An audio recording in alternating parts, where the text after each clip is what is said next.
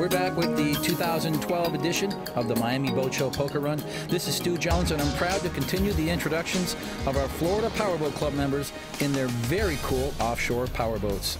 This is George and Shannon Arduous from California in Team Donzilla. This is round two of the three poker runs they do every winter season. Next up is the Tampa Bay Poker Run, which is coming up March the 31st. Joe Sabo is from New Jersey, but he spends a lot of time boating in Florida. This is a 38 cigarette that he keeps in great shape, and it's been on one hell of a lot of poker runs in the last few years. Now we're moving in on Grant Freeman from Missouri and his 38-foot Donzi Ultimate Distraction, powered by Mercury Racing 700s. It's a very fast 38 Donzi, which was proven when he won the LOTO Shootout a couple of years ago. Here's a shot that never gets old from the cockpit of our Robinson R44. Ray and Pam Therian from Massachusetts had so much fun on the Key West Poker Run, they decided to bring the whole family this time on their 42 foot fountain. It's too bad that we had to say goodbye to Fountain recently, but you're going to see a lot of these boats continue to be on poker runs for many, many years to come. This is Alan Lima from Grove Harbor Marina in his 38 foot cigarette. If I told you how long he's owned this boat, you probably wouldn't believe me, but I'll tell you anyway. How about 18 years? You know what they say, it's cheaper to keep her. Here's another cigarette. This is Anton Holstrom and Sister Deb in their 42X called Country Girl. I've always loved the look of this Dave Hunter paint job. Lots of cool colors and just the right amount of flames blended into the graphics.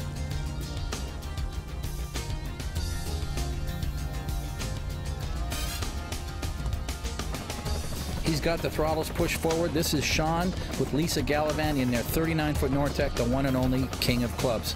They're celebrating their first poker run together since having a baby boy just a few months ago, and we'll even get to see the little munchkin when we get to the Keys.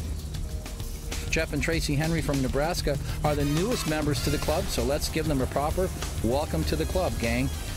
They're certainly arriving in style in this beautiful red 44 Outer Limits. If you wonder what it's like gliding across the water at 80 miles per hour in a 50 foot cigarette, this should help. The only thing we can't do is put the wind in your hair. Uh, what an awesome ride across Biscayne Bay as uh, we bring the 50 Marauder off plane and idle through Jewfish Creek. Captain David Branton here, the proud owner of a brand new cigarette. David, you got to be loving life today. Couldn't be better, man. Smiling ear to ear. Got my wife, got my friends. It's all good. Now, for a guy who's owned uh, every cigarette known to man, uh, how does this 50 Marauder with 1350s measure up? It's fantastic. It was built for my wife. Everything she wanted, right where she wanted it, and uh, we're happy with it. She's liking it, so if she's smiling, I'm good. It's all about Leanne here, you know, because if Leanne ain't happy, then we can't have uh, we can't have fun. But let's swing around here to Leanne for a second now. Um, and Leanne, you know, we've been boating with you for probably 15 years, and we've had a lot of fun on a lot of boats. But you know, you really did yourself up a nice boat this time. Well, with the help of Phil, Lipship, we did it. We, it's great. We love it.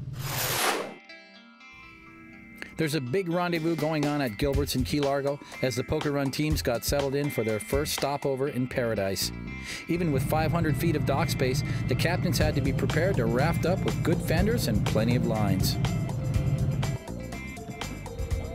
In true Gilbert's fashion, the food was hot and ready to be served, and it's probably a good time for Sarah to cruise around the crowd and hand out their second poker card for the day. And about Sean and Lisa's little baby, well, there's the little munchkin getting his first poker card. It's a beautiful place here in Key Largo on a sunny day in Florida. God, it is a hot day, Fred. Uh, I got to tell you, almost a record high today, pushing the 90s, and uh, a long ways a long ways from Fond du Lac, where you're going to be heading back soon. But uh, how's your vacation so far? It's not a vacation. I'm down here circulating with my customers. The fact that it's 32 and snowing in Madison is uh, no compensation for my wife.